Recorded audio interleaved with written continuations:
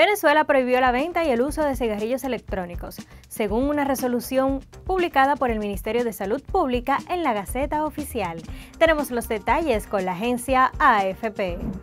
El gobierno prohíbe la fabricación, almacenamiento, distribución, circulación, comercialización, importación, exportación, uso, consumo, publicidad, promoción y patrocinio de sistemas electrónicos de administración de nicotina y sistemas similares sin nicotina, así como sus combustibles y sus accesorios, según establece la resolución. Quien viole los términos de la prohibición quedará sujeto a sanciones que serán establecidas por el ministerio.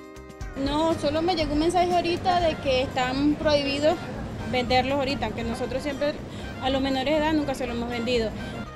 La decisión de prohibir los vapeadores, de acuerdo con la resolución publicada el jueves en Venezuela, responde a estudios y ensayos clínicos que concluyeron que contienen sustancias potencialmente tóxicas que causan adicción, por lo que son nocivos. Se estaba vendiendo bastante, de hecho, se está vendiendo más que los cigarrillos, porque los cigarrillos han bajado mucho la venta de los cigarros. Ya en otros países de América Latina se han tomado decisiones contra estos aparatos. México, en un endurecimiento de las normas antitabaco, en mayo del año pasado, los prohibió.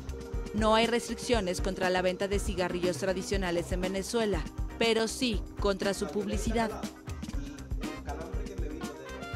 Hasta aquí con las novedades en Por el Mundo. Recuerda que puedes ampliar estas y otras informaciones a través de nuestra página web rnn.com.do y todas nuestras redes sociales Noticias RNN.